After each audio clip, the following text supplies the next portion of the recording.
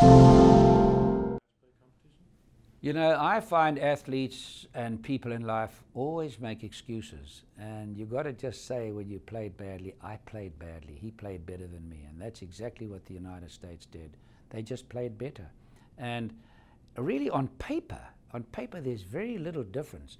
I mean, if you look at the best swings in the world today, Adam Scott, you take Jason Day, you take Charl Schwartzel, and Louis Oosthuizen. Basically, theoretically, those are probably the four best swings for perfection in the world today. So the difference is when you play 18 hole match play, anybody can win. But uh, I don't know what it is. I can't answer it. I feel now the United States has lost continuously in the Ryder Cup to Britain. But I feel if our team is better than the Ryder Cup team in Europe, it just doesn't work out. I, I don't know what the answer is. All you've got to say is they played better. I think that has a lot to do with it, and it's a, it's a natural thing when people are screaming, USA, USA. Now, I said to my wife, I was pleased to be able to do this interview because I'd like to introduce something new for the President's Cup, and I hope captains in the future will adhere to this. We got to get the public to say, We are the world.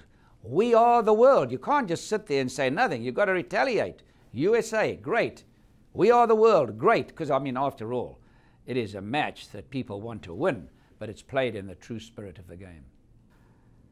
If anybody can do it, it's Tiger Woods. But he definitely is not the same golfer he was when he was on that high roll.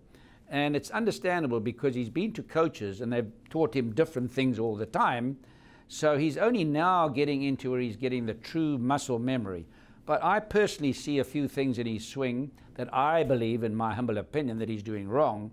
And I think if he makes a slight change in his swing, in my humble opinion, he will definitely go past Nicklaus because he's got at least, I would say, long as he stays healthy and his knee doesn't give in, he's got another 40 majors. Most talented man? Yes, I, I think he will. But they're ifs. They're always ifs, and one can never take anything for granted and know what's in store for you in the future.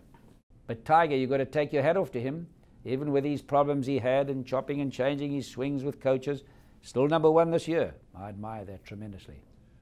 Well, when my son first spoke to me about uh, being in the nude, I said, no. I said, this is not for me. I thought this was some kook idea.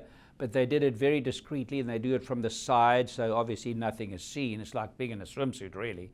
And I had more tweets and more emails and more telephone calls from people all over the world saying, you know, you're nearly 80 and I see the condition you're in and I'm 45 and I'm 50 and I'm 50 pounds overweight and my children are fat, I promise you I'm going to now exercise, I'm going to get my kids on a proper diet.